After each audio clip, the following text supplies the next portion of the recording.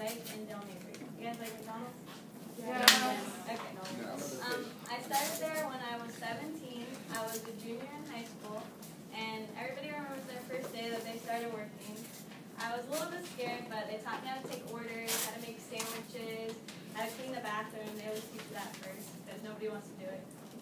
And then um, after my first day was over, I went in the break room and I sat down, and a bunch of my crew members came in. They're like, "You did so good. We brought you a brownie."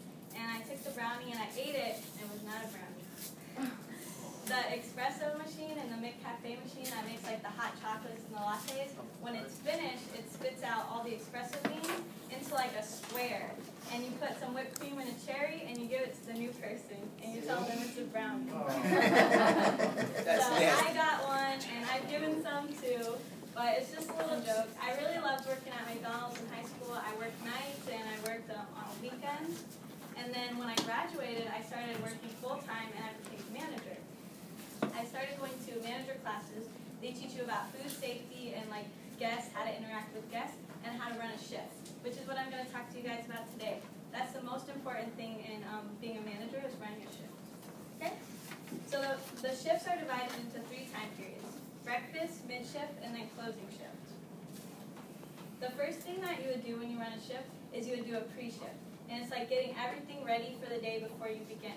It's like um, if you're going to start a game, you get all the players and all the equipment before the game begins. Otherwise, you know, you, you want to win. So the first thing with the pre-shift, it's like a big checklist. You go into the fridges and the freezers, you check all your products, your McChicken, your cheese, your fries, you make sure nothing's expired, and that you have enough product. The next thing you would do is go into the grill area and you would put the probe into each of the meats, to make sure they're all cooked at the right temperature because you don't want anyone getting sick. After that, you would do a travel path. And you would check all the cleanliness of the restaurant, make sure that the bathrooms are clean, the lobby's clean, all the trash is taken out, because you wouldn't want any guests coming in seeing that the restaurant's dirty, otherwise they wouldn't want to eat in there. Everyone agree with that? Yeah. Yes. Then you would make sure that the whole area is stocked. Your drive-through stocked with enough cups, enough sauces.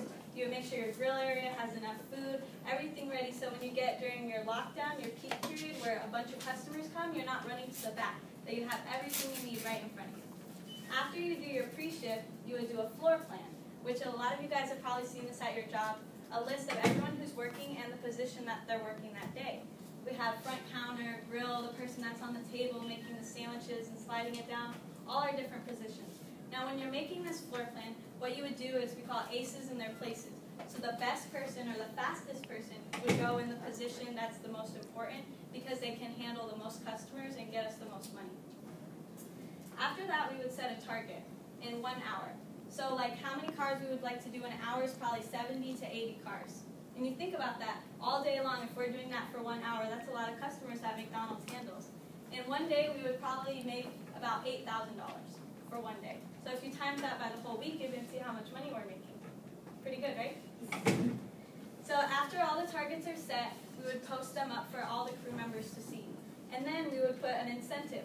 So like if we got 89 cars and our target was 84, everyone can go home with a free sandwich that day or a free ice cream just because they did awesome that day. So the three things you have to do are floor plans, targets. Does anyone remember the first thing? Pre what? Oh, uh, prep, prep. You gotta make sure you got stuff and everything like Yeah, that. you win a free sandwich. No! So does anyone remember aces in their Places. places? Aces places. Alright, thank you guys so much for listening. I hope you learned something about how to run a show. Good job.